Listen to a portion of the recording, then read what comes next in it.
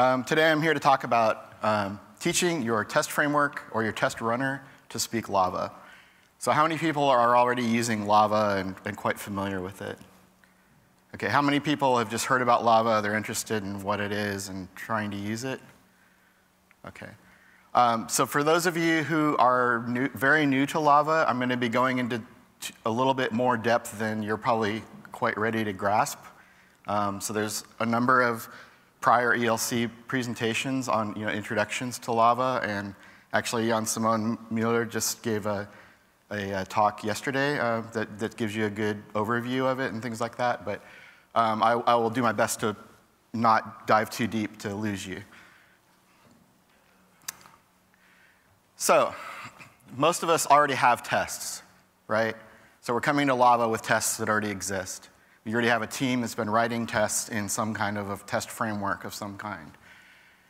So, wouldn't it be great if Lava could auto-discover your tests, just like PyTest or something like that can do, right? Just point it at a folder, say PyTest, and it goes.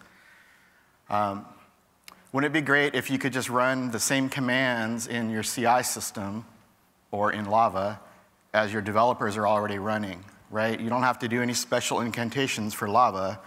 You just run the same thing. Um, so this is, you know, to keep it simple, and I don't want to put the word stupid in there, so I changed it to smarty pants, but um, that's a, you know, common approach in software. Um, also, you don't really want to rewrite your tests just to make them work for Lava. So, you know, don't repeat yourself. Don't, don't add extra work. Um, and also, you know, the traditional approach in Lava world is to do post-processing of your results, post-process parsing. Um, wouldn't it be great if you didn't have to do that? So that's what I'm talking about today. So let's just go a little bit into the life cycle of a test case in Lava. What, by this, what I mean is what shows up on the dashboard in Lava and why? Why does it show up as a test case? So the reason is that there's these special signals. So number one, this lava start or lava signal start TC ping test, right? So once you have started a test run, Lava does a bunch of other things I'm not going to go into you that before uh, the test starts running. But once you have started a test run, Lava is only observing standard out, period. That's what it is doing, unless you hit a timeout or something like that. So it is literally looking for the string lava signal start TC, and then whatever the test case name is. And then you've got some stuff, and then you've got lava signal NTC. Then it knows the test case is done. And then it knows what the result is by lava signal test case, test case ID, so on. Okay, so in this case, this test failed. Um, but you can see at the very, very top, the plus lava test case ping test, right, that's using a special incantation for lava, which is where we're trying to get away from. So there's a little bit of extra um, stuff, or sorry.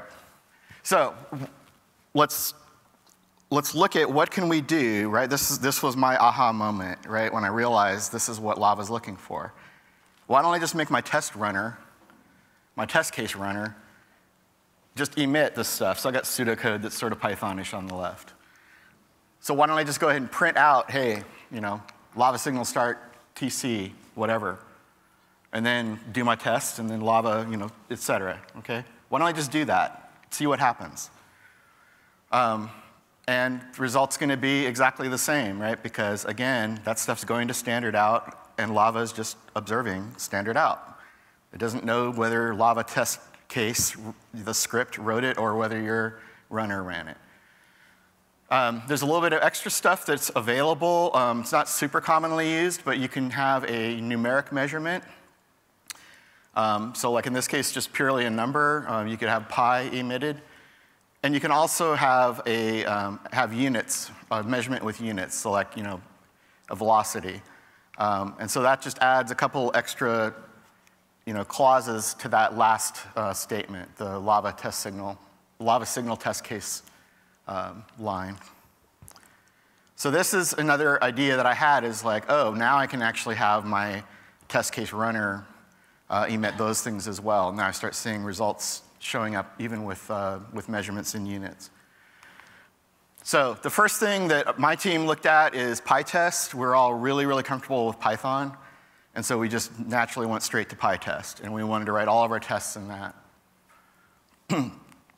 so I gave a talk at ELC in Portland uh, last year about uh, running a rolling release with uh, open embedded Yocto project based thing. And I disclosed that I had been doing this stuff with PyTest, and I talked about writing a PyTest plugin. Um, for various reasons, I haven't quite gotten that done yet, so I'm just going to go ahead and show you what we actually used. So what we really literally did is in the same folder where your tests exist, where you're going to call Py, you're going to say PyTest, go to this folder. In that folder, you put this special file called conf test conftestpy. So PyTest is looking for this specific file name. And in this case, I need to convert the results from, PyT from PyTest, which was uh, this PyTest outcome, passed or skipped or X failed, right? So in Lava, there is no such thing as an X fail or a skip condition. Sorry, okay, uh, then I need to change this. Thank you very much. I, I meant to double check that and I didn't fact check myself. So I need to, that one line, you should change that to skip. Okay. Uh, there's no X failed. So X failed should just be a pass, okay? Um, the, I think there might not have been a skip earlier, or anyway, doesn't matter. It, my bad, okay. Um, so the other thing that you need in this case is where are those actual signals going to get emitted from? So there's a special function that we're overriding in this case. So it's a report type of function um, or type of object. And basically, you can see this is quite simple. Um, so we're looking at what is the, what is the status of, um, or where are we in, in the PyTest run? So this is traditional uh, unit testing, it's got setup and teardown clauses. Uh, so in the setup case, we want to emit that start signal. And then when it's actually in call, we're going to figure out what the result is at the end of everything. And then we're going to emit the, the end signal and the, the test case ID and end result. So this is uh, the simple case where there's no measurement in units. I have an appendix where I show how we would do it with, with units if, if we have time. Um, so this is what my test definitions look like before and after this change that I'm, I've done. So you could have just run, I picked Python 6 just because it happens, or just because it happens to be a, uh, module that uses PyTest. So you could have just run lava test case, um, give it a name, Python 3 6 tests, and then just run a shell command, PyTest. Okay? So really, there's no difference from what we're calling. Um, on the right, we're just going to say call PyTest directly. So the difference is if we look at what the output of the first run would be, we get all of the tests, everything that PyTest was going to run, in one big blob, and we get the result for the one big blob, and that's it. Okay? Um, PyTest happens to, by default, X, you know, output these dots for passes and S for skips and F for fail. But you can see, you know, it's still got the same pattern, right, over and over again of start TC, end TC, test case. So what happens when I use that conf test py that I just showed you?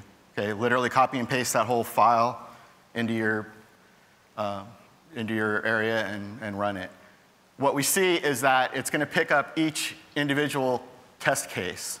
So I've abbreviated this because it's you know hundreds of lines, but um, you can see now there's actually a test case named add meta class that passed, and then there's a test case named add meta class nested that failed. So why do we care? The reason I care is I tend to do a lot of uh, looking at my results through the web UI. And so when you look at the results tab or the results uh, part of your Lava dashboard, in the first case, all I'm going to see is Python 3.6 tests, my entire test suite failed. If I click on that, it just shows me the top of the, the test suite, or shows me the whole test suite failed, and that's it. I don't really have much information.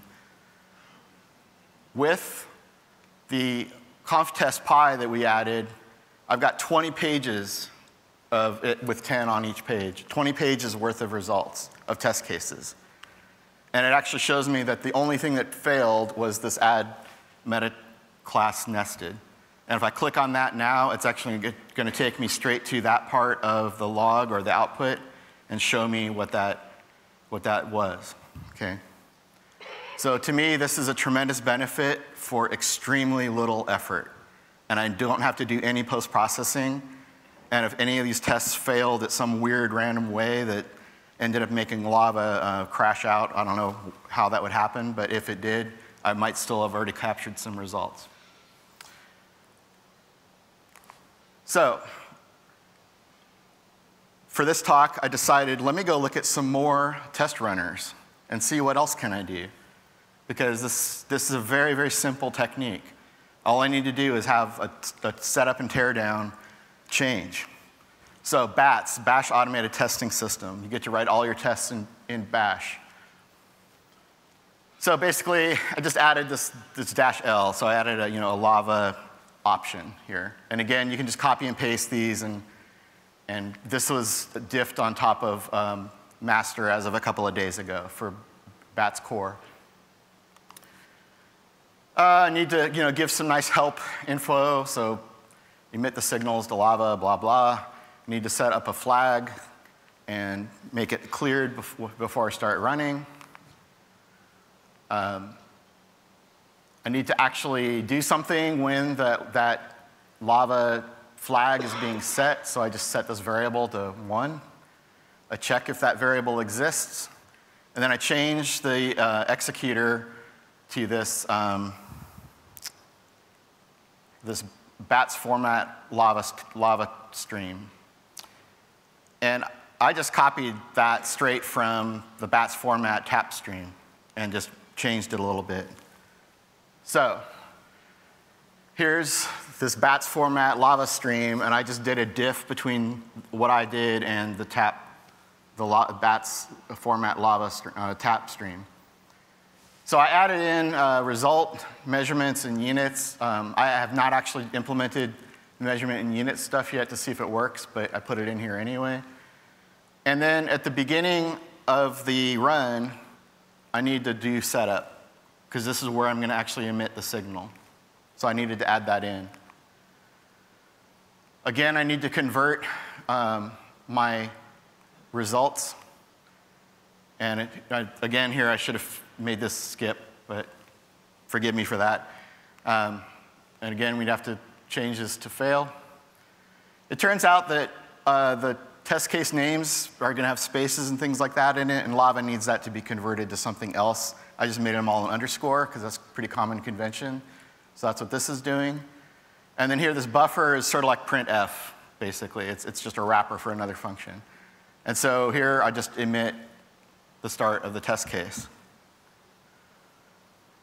Tear down, again, I need to, um, to manage this name, escape it, and I just buffer out the test signal end.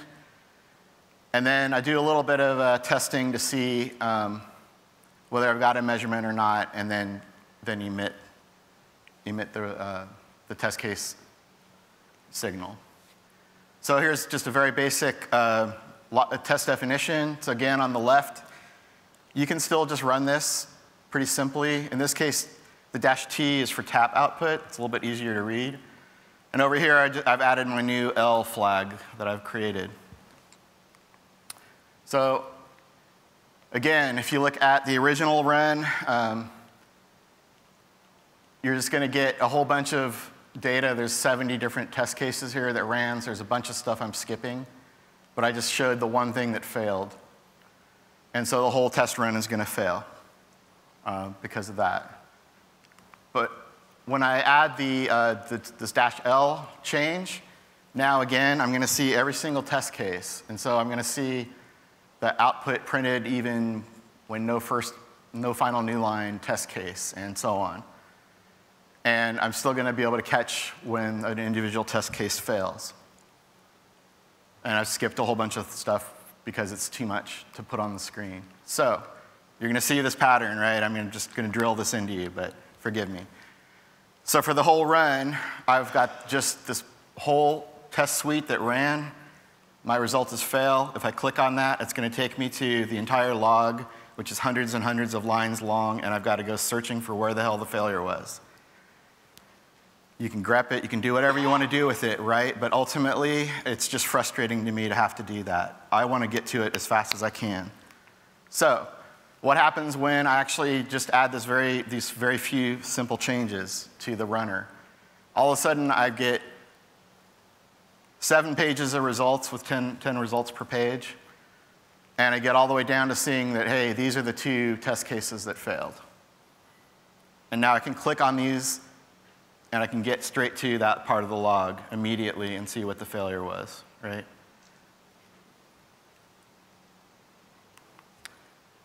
So what else can I do? So Jan Simon gave a, Mueller gave a very, very excellent introduction to p-test, part of the Yocto project open embedded test suite uh, yesterday. So this uh, lets you test individual packages, and you basically do the equivalent of make check or make test of whatever your software is. Uh, at, currently within uh, Lava, there's some Python scripts that do post-processing of p-test results. And they essentially will give you the same result that I'm going to show, but it's post-processed versus uh, processed at the same time. So first thing I needed to do to make this work is modify the, the p-test runner to a test case. It's C++, uh, or C I mean code.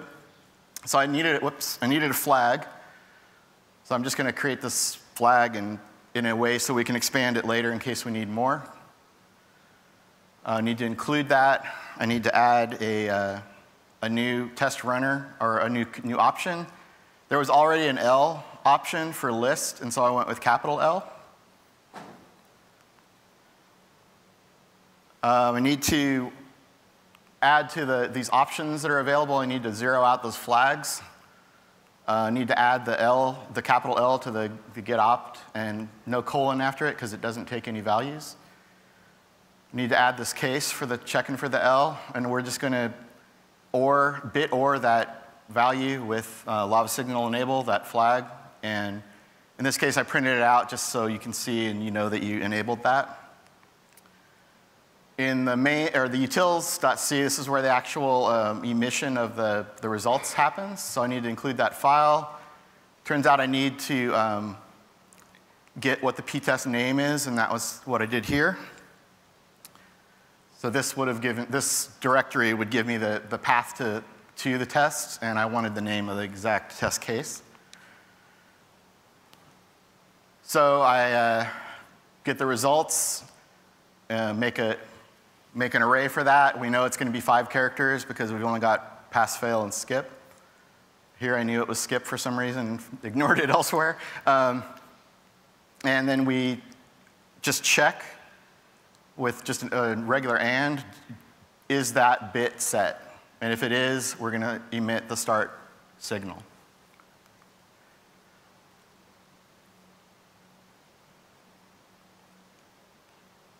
So then here we're going to check if that exists.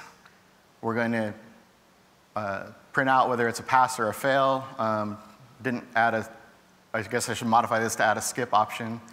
Um, this is kind of the teardown, and so now we're going to uh, print out this, the end, end, test case and the test case uh, ID stuff.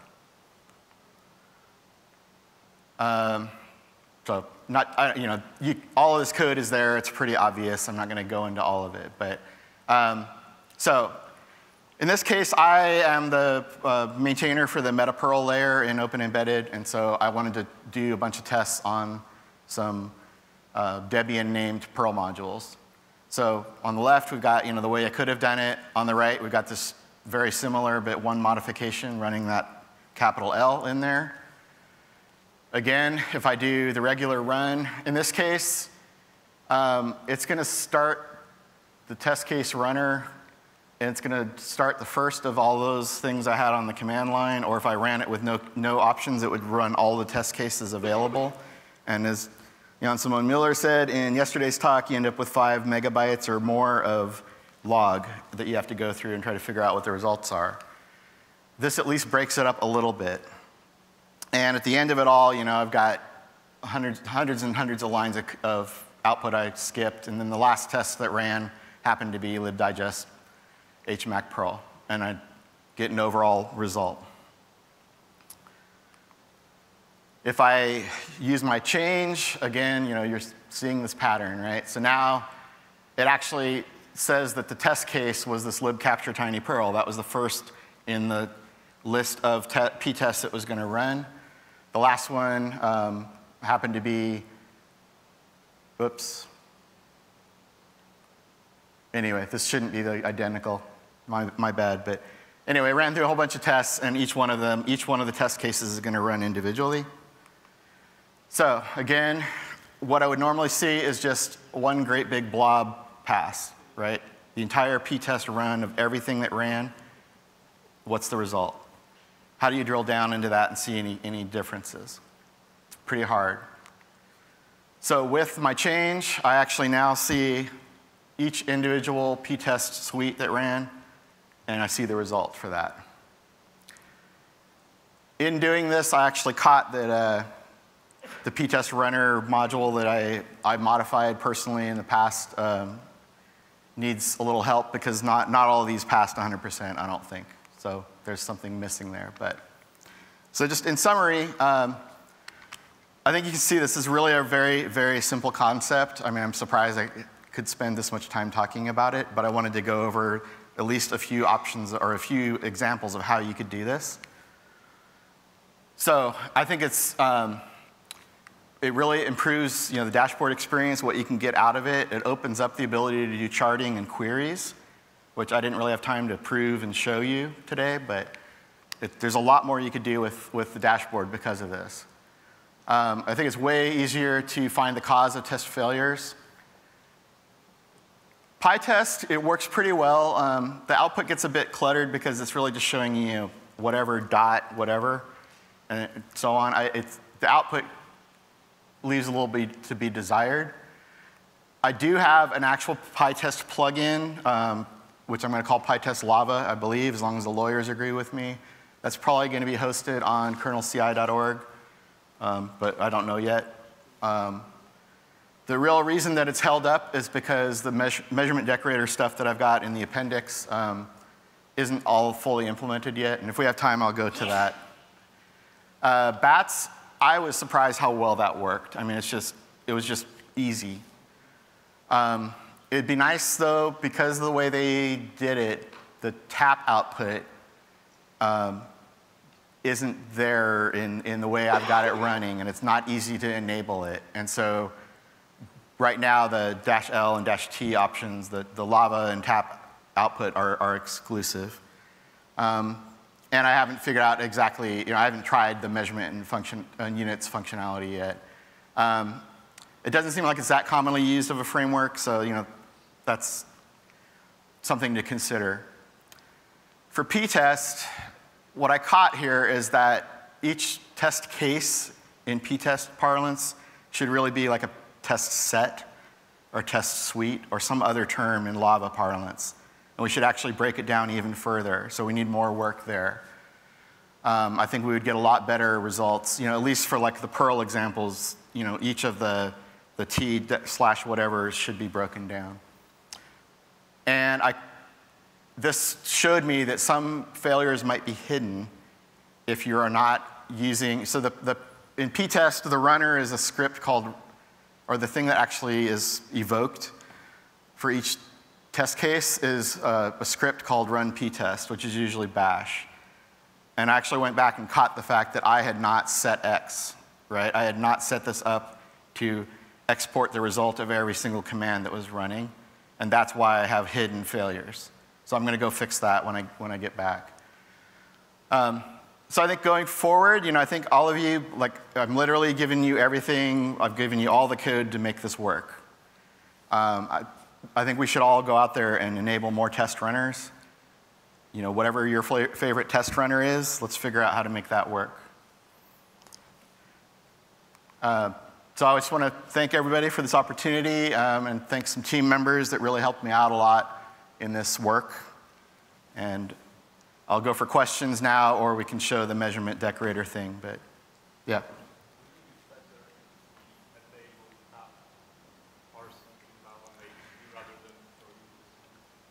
So I think uh, I am 100% for tap parser, tap parsing in Lava. In fact, I would like to have, rather than just the uh, CSV and YAML outputs, I'd like to be able to get JUnit or tap output from Lava. So that's a great thing. I, I think absolutely. Um, not all of the tests that I'm going to be running here, not all of them have tap output, right? Yeah, but I think you're, I mean, you're absolutely right, and that's the, what I looked at was could I figure out how to add that all into Lava easily, and what, how quickly could we get that in and, and merge it as a community versus this was down and dirty and it worked, right? So I'm, I'm showing you a shortcut, it works, you're absolutely right, that's the better long term solution, no doubt about it. There's others there as well, right? But that's, that's an obvious one in, in Lava, I think. Any other questions? Yes? Oh, sorry, can you come up to the mics? Sorry, I forgot to. This is recorded, and lots of people watch these videos after the fact. I watch my own videos because I often forget what I worked on six months ago or a year ago. Thank you. Question is short. Uh, is there any plans to uh, do it with robot framework? To do that, what? Lava. Is there any Get plans to? To uh, make such a cooperation with robot framework? Can, do you know robot framework? Oh, robot. Robot. Yeah, got it. Um, yeah, I used robot framework in the past. Uh, that one's a little bit more complicated because Robot Framework has an awful lot of ways of putting tests into it, which is why I didn't want to try to show it here, because showing what the tests actually were would be kind of difficult. And then uh, the output, it's got a lot of output options, but um, it, it, this is fairly trivial to do, so we could absolutely do that in Robot Framework. Mm-hmm. Okay. Yeah. And I, have I've, I've been a contributor to Robot Framework in the past, so we can absolutely look forward to doing that. Yeah. Anything else? Okay. Uh, I'm just going to go ahead and show just the, the measurement stuff just really quickly. Um, so basically, uh, we still need that lava result converter. We modify the, um, the conf test.py a little bit um, because we add in the uh, ability to have this measurement text. And we add in, in this case, um, the tests that we were running, we were run, running cyclic test, and we're actually printing the units and the measurement at the same time. Um, so this is you know, just a slight modification to what I showed earlier. The one big difference here, um, which I didn't even, I, I, missed a line. I didn't import, um, oh, I did up here. So I have to import this measurement decorator. And so the measurement, and then the measurement decorator is just this measurement object. Um, this is a little bit of a hack, but basically we just set up an array. And in this array, we basically end up um, setting up just a measurement and the units. So you just, your test case has to emit that or, or return that. Um, this works for our case. It's a little bit hacky. It doesn't, it, it was not that easy to implement in the actual PyTest as a, as a plugin. Um, and there aren't that many tests that are actually emitting uh, measurements and, and uh, units, but this, this does work. Um, but it does require you to actually uh, change your uh, test case runner or your test cases themselves. Um, so I just didn't, I didn't really like this that much that we had to modify the test cases themselves. Um, because I thought that kind of breaks with my original theme was don't modify your test cases for Lava. Just modify your test case runner or modify Lava to parse it. But anyway, that's, that's all I've got. Um, if anybody's got any other questions about this or automated testing in general, uh, I'll be around and happy to talk to you. Anybody? Anybody? Anything else? Okay. Thank you so much.